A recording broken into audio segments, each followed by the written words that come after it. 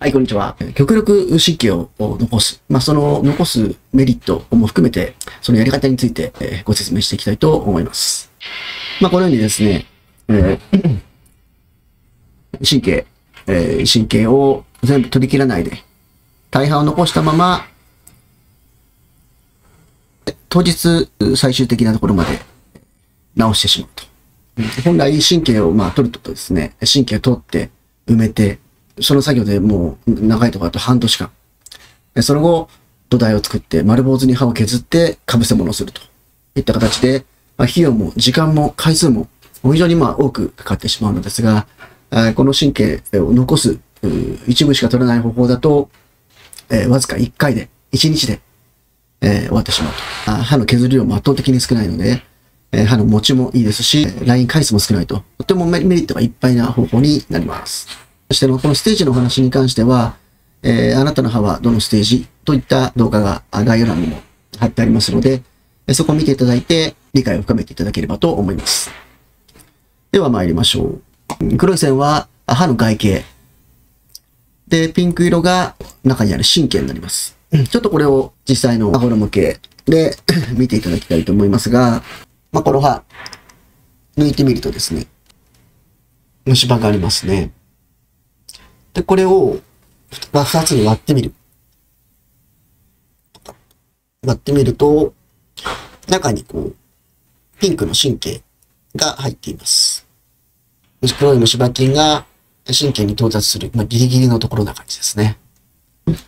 えーといった具合にですね、えピンクの今のところが神経、黒いところが虫歯があるところなんですが、虫歯菌は酸を出して、酸を出して歯を、まあ、溶かしていきます。少しずつ。そして神経の方向に向かっていきます。なぜレントゲンや CT で虫歯がわかるかというと、レントゲンは物質の密度を表します。例えば、この辺の歯じゃない黒いところ、何もないところ、何もないところほどより黒く、え金属のような密度の濃いものほどより白く映す。物質の密度をレントゲンは表しています。酸によって溶かされたこの虫歯のところですね。溶かされた歯は他の歯の材質よりも相対的に密度が小さくなっているために、このように黒く見えます。だから、虫歯だろうと我々もわかるのです。まあ、正確に言うと、虫歯の可能性が高いことがわかると言った方がよろしいでしょうか。しかし、実際には、この虫歯菌が、レントゲンに映るぐらい歯を溶かした頃にはですね、えー緑のように、え虫歯菌はもっと先まで、神経の方まで、え進んでいます。この緑のところは、虫歯菌は感染しているが、歯はレントゲンに映るほど溶けていないため、術前のレントゲンや CT では、あ詳細はわからないんですね。えーじゃあどうわかるかというと、実際に治療に入って、まあ少しずつ削っていって、その結果、例えばここで終わったら、あ、虫歯菌がここまでいたんだなという、まあ結果論のような形で、えー細かいところはわかるといった具合です。例えば、この図のようにですね、緑の 虫歯菌がピンクの神経に、えーくっついてない、到達していなければ、これはステージ1となります。こうですね、ステージ1、神経、神経を触らない。しかし実際には、このように、え虫歯菌、緑の虫歯菌とピンクがあ近接している場合には、肉眼で、まあ、やるとですね、まあ、ガバッとこう、削ってしまうことが多いので、えステージ1で止められるものも、一気にステージ3神経を、まあ、取るといったステージ3の神経を取るという治療まで進んでしまっているのが現状です。これは、まあ、歯医者さんが悪いわけではなくてですね、えー顕微鏡下で虫歯だけを選択的にこう取っていくっていうことは非常にまあ難しいので、まあこういったことになり得るわけですね。じゃあ次に、事前にはわからないんですが、この緑がここまで進んでいった場合ですね。この場合は、ステージ2で止められる可能性があります。で次にこの緑の虫歯菌がこの結構ほとんどの神経に感染していた場合、この場合は残念ながら感染し、まあ緑の部分が壊死しているので、壊死した神経を全て取るというステージ3になります。でこれでまあ神経を取るというとですね、よく患者様が前の歯医者さんで神経を取られたということを聞くんですが、あ正確には今も壊死している、死んでしまっている過去に神経だったところを歯の延命のために、監査のために前の先生が取ってくれたということになりますので、まあ、あの前の先生は悪いことをしているわけではないので、ご理解をいただければと思います。えー、ここで重要なことは、このステージ2と3で歯の持ちがとっても、とても大きな差が出てきます。ステージ3まで、えー、行ってしまうとですね、約半数50%、多い文献だと80%という文献もあるんですが、10年以内に、えー、根っこの先に海を作ったり、えー、歯が割れてしまったりといった具合で、まあ、抜歯になってしまう可能性が非常にまあ高くなると。しかし、このステージ2、えステージ2で、え止められた場合にはですね、もっともっと本当にも、もしかしたら20年も30年も長く持つ可能性があるので、ステージ1と2よりもですね、2と3の差が非常に大きい。このステージの表で言うと、ステージ2とステージ3、ここですね、矢印が引いてありますけども、ここの差が非常にまあ大きい。これ長持ちしやすいと書いてあります。1にはかなり長持ちしやすいですね。ここでなるべくしっかりした治療で止めてあげると。うん。ということで、この、なるべく神経を取らない。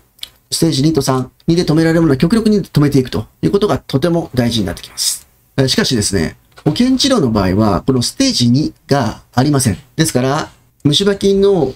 が神経の一部に感染してようが、全部感染してようが、両方とも全部神経を取ってしまうステージ3になるわけですね。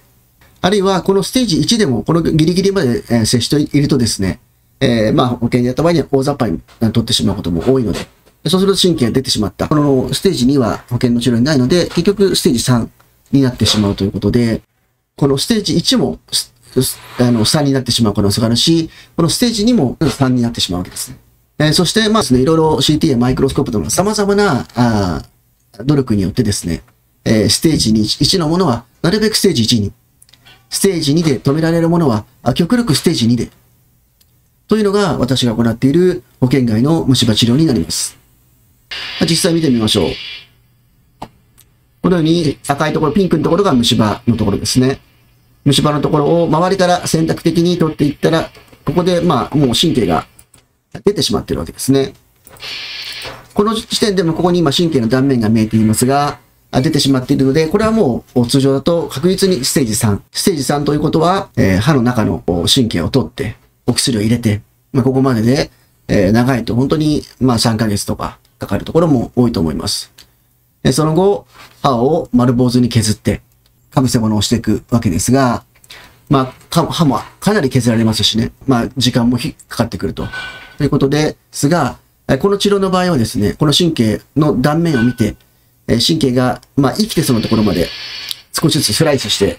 生きてるところを探していくわけです。顕微鏡下で。で、ここまでで生きてる、神経が生きてるなと判断できたら、この日にえー、この神経の 上部をですね、封鎖して、特殊な薬液で封鎖していって、えー、さらにその上面も封鎖していく。で、最後に歯の形を作っていく。ことで、一日で、一日で神経を保存し、かつ最終的な歯の形のところまで終わってしまう。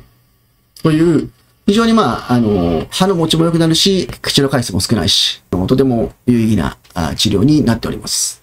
これが実際に神経、この白いところですね。白いところが、この白いところです。白いところまで神経を取って、この先端の大半は残してあります。約5年以上ですかね。何か問題が起きたという報告は受けておりません。えー、この治療はですね、マイクロスコープという機械ですね。機械をずっと見ながら治療していくわけです。なんで、マイクロスコープで確認のためにチラチラ見るわけじゃなくて、ずっとマイクロスコープで、えー、手術をしていくと。目で見ながらですね、このマイクロスコープで、この神経の断面を少しずつこう、スライス、切断していきながら、神経が、えー、死んでるところは取っていって、生きている面がないかっていうのを少しずつ少しずつこう、模索していくといった治療になります。えー、例を見てみましょう。虫歯、黒い虫歯があって、えー、神経と近いのでおそらくもうこれやる前から、まあ、感染しているかなというところだったんですが、実際にやっぱり感染していてですね、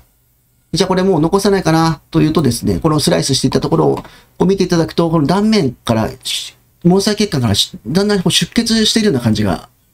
わかりますかね。これはまあ生きている。ということで、一部分だけの神経を取って大半の神経を残してあります。この人も4年以上問題なく過ぎております。逆にですね、ダメなケースですね。風をかけた場合、もうふらふら浮いちゃってる。神経自体がこの管から離れて浮いちゃってるケース。あるいは、周りから出血あるが、神経自体から全く出血がない場合。これはやっぱりダメなので、この場合はまあもう死んでしまっているので、壊死してしまっているので、神経を全部取って、お薬を入れてるステージ3の治療になります。で次に、真ん中側は神経、あの、出血がないです。周りからある。ここはもう壊死していますね。この場合にじゃあもう諦めるかというとそうではなくて、え少しずつ上から切断していきながら、生きているところを見つけて、そこまででストップ。生きているところの神経は大半を残すと。いった治療により、白いところまで神経取って、この大半の上の黒いところは神経が残ってますね。この人も今のところは4年ぐらいですかね、問題なく過ぎております。よくわからない迷うケースがあります。うん、これどうかな残せるかなといった場合で、ちょっと半信半疑の場合は、僕はなるべく残すようにしています。なぜかというと、この人結局半年後にですね、歯の周りが運であの黒く溶けてきてしまったんですが、分かったらその後に、神経、生児さんの治療をすればですね、ここ溶けた骨がここ戻ってきてるんです。なので、この時に2019年の3月に神経を取っても、翌年の7月に取っても、どちらもステージ3でしっかり治せるんであれば、一回その迷った時には残すチャレンジをするというのは、まあ悪くないんじゃないかなと考えております。そしてこのようにですね、術中で分からなかった結わからなかった結果、感染していて、後々ステージ3になってしまった場合、こういう場合、今回の場合ですね、まあ、こういうのほとんどはないんですが、6ヶ月程度であればですね、あの、その後の治療の費用はいただくんですが、差額しかいただかないので、迷ったら今回のように残す場合、患者さんの金銭的なデメリットがないような金額設定にしてあります。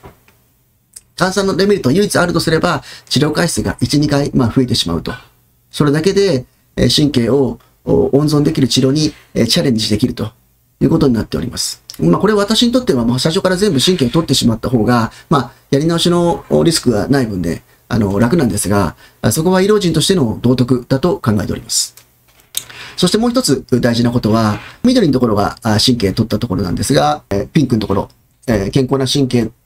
を残して、虫歯を全部取れたと。ここに薬剤をこう、入れていくわけです。薬剤を入れていきます。この時に、この緑のようにですね、隙間がこう多いとですね、せっかく神経を残せても、その後菌が入ってきてしまって、結果的にはやはり神経が、まあ、感染して死んでしまうわけです。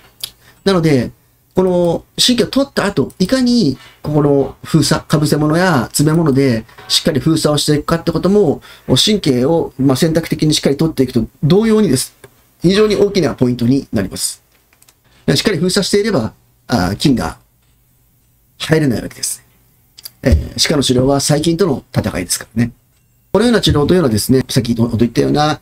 マイクロスコープで見るとか、CT で治療計画を立てるとか、ラバー玉をすると、えー、専門的な機械を使う。まあ、これは最低限、最低限の条件なんですね。えー、そこにおいてさらに必要なのは、えー、歯科医師、僕僕の例えば知識、技術、経験、えそして先ほどのような道徳心だと考えております。そして同時にアシスタントをしてくれる例えばドクターやあのアシスタントの人ですね、の知識、技術、経験、え道徳心がなければ、えー、こういう治療っていうのは、まあ、絶対にうまくいかないと実感しております。このような状態というのは小さな虫歯でも十分にあるので、虫歯治療し、まあ、どっかでしてしまってからでは遅いので、虫歯があると分かった時にいらしていただけると、助けられる可能性が大いに高まることになりますので、よろしくお願いします。一人でも多くの、一本でも多くの神経を、歯を、を救っていきたいと考えております。今日はステージ2、残せる神経は極力残していくという断髄、あるいはバイタルパルプセラピーといった、まあ、いろんな言い方がありますが、まあ、同じですね。えー、活かせる可能性のあるものを極力活かして、ステージ3、神経を取るところまで活かせない。えこういった治療の解説になりました。よろしければ、こういうものがあるということをまず認識していただき、ご希望の方は、ぜひ、ご連絡いただければと思います。では、歯科の追求。